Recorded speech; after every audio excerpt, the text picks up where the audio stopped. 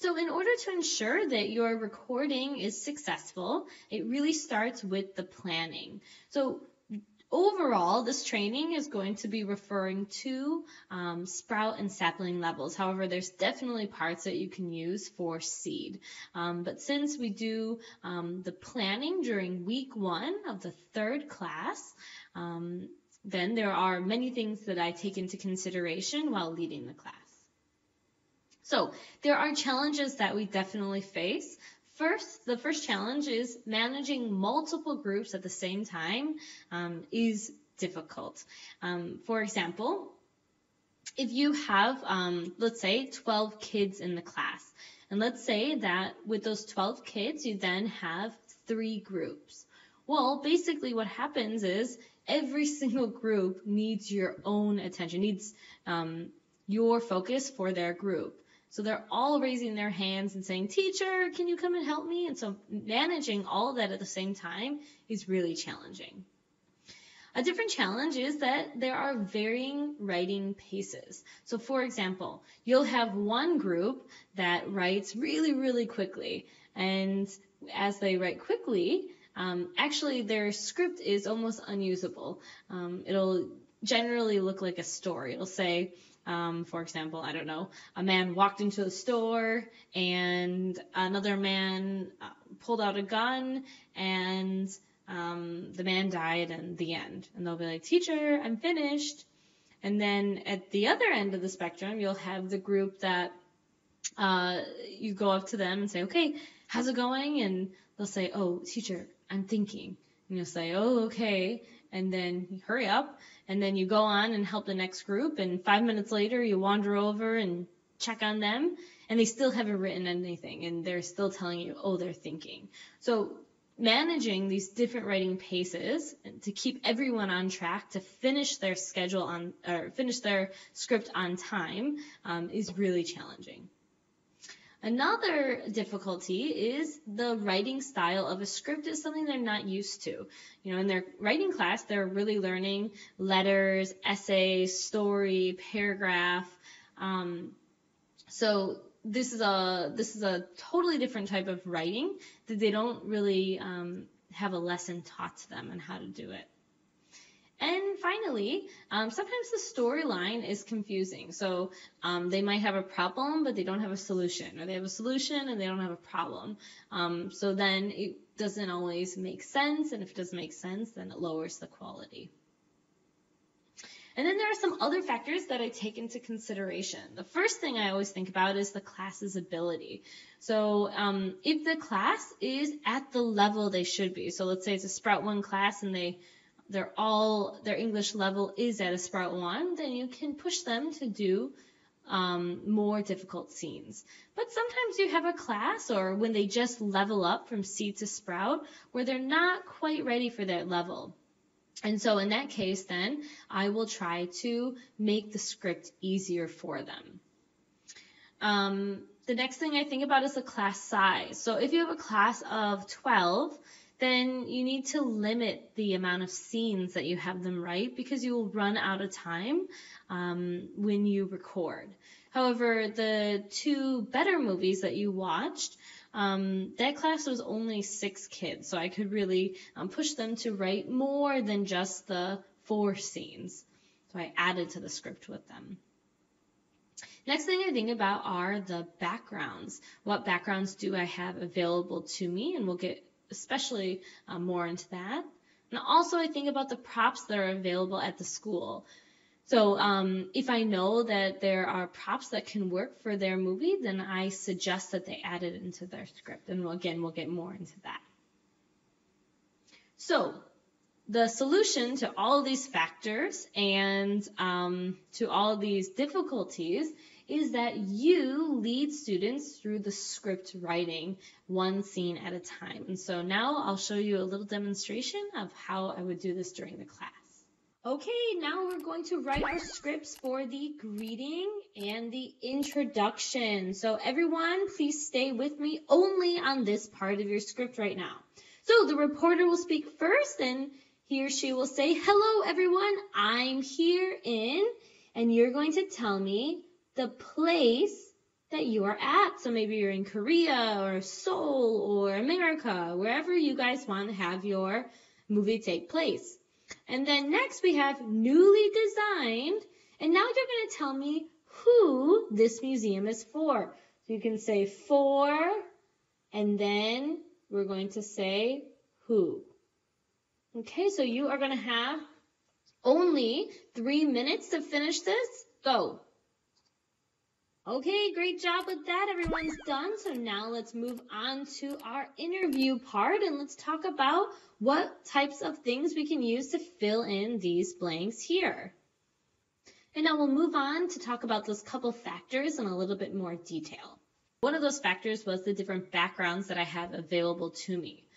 So I want to cover the different options or the different situations that you might run into. So maybe at your school you have endless options. And by endless options, I mean that you can Google search any image and use that as your background. So if that is the case for you, then you can really push your students to be as creative as possible. Other times you might have a set selection of backgrounds. And that by set selections, selections, I mean, you know, you might have 60 to 100 different um, backgrounds. So um, in that case then, let's say that your students wanted to be really creative, but you absolutely do not have that background, then I would lead the students to adjusting their script so that it will fit a background that you have. That way it'll make sense. So as an example, um, one time, I've actually worked with all of these different options, but um, when I was working with a set selection, um, my students wanted to write a script that took place in a hospital, except I didn't have a hospital background. Um, and it was a, a news report, so they were going to interview a doctor. So what I suggested was that the doctor visit a school and then the students uh, could ask the doctor questions. And um, I just told them that that's because I have a classroom background and they didn't mind at all and they just adjusted their script to that. And then there is the possibility that you may have no backgrounds. And in that case, maybe the, the chroma key system that you used to record with maybe it broke and it's in the process of being fixed. Well, it doesn't mean that you can't make a movie. Um, so what I would do in that case is um, you can I would just adjust the script so that it would take place in the classroom because you know maybe you might be using a, a phone to record with or maybe a tablet or something that the school will give you. And um, if you don't have any backgrounds, then adjust the script so you can at least use the classroom as your setting. Um, another thing I would do is I had a blue screen in my room um, that they acted in front of in order to get the different backgrounds. So I would um, maybe tape some fish that we made onto the the blue screen and we would have the scene take place in the ocean or I would tape on some planets that I made and it could happen in the in the you know in outer space or anyways the point is is that there are there are options you just have to be creative and then have and have the students and help the students to adjust their script to fit the background options that you have and then the second factor that we'll talk about are the different props. And there you have all different options. Uh, the first option is that you or students can make different props. Um, so for example, students love to make movies that use a robot. So actually, um, we made a robot in my school. This isn't one that I made. Um, all, all, I did was I took the A4 paper boxes. Your school have so many just laying around, and I would tape those boxes together. And I actually made a robot that was like taller than all of the students and then I just wrapped some aluminum foil around it and we would, you know, pin t-shirts on it or put an apron on it if it was a cleaning robot. And anyways, the students had so much fun and it added a lot of quality to their movie. So um, some props you can absolutely make. The other option is that students can bring in a prop, but they'll only bring in props that they want to, that it's fun for them to bring in. So for example, I talked about this in the training, the creative thinking project training with the pet cafe.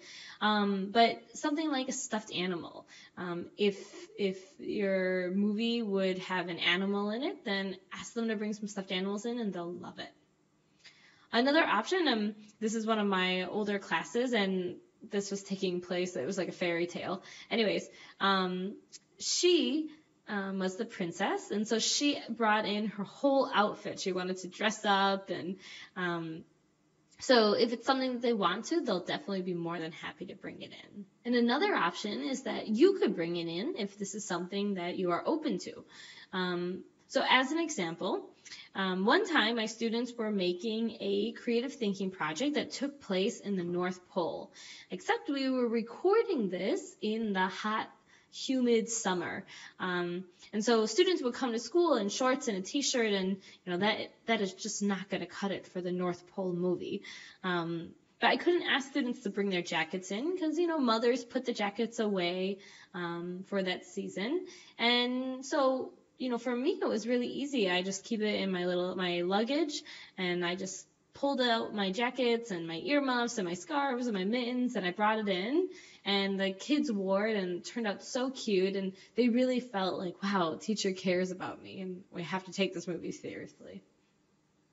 And lastly you can find items around the school. Um, this is actually uh, one of the sapling creative thinking projects um, it was a talk show. And i think at this time my recording, my chroma key system was broken. Um, so I just created a set and I would drag in these random plants that we found around the school and we had this bench that was in the hallway and you know I can remember my director saying like what are you doing? But um I dragged everything in the room.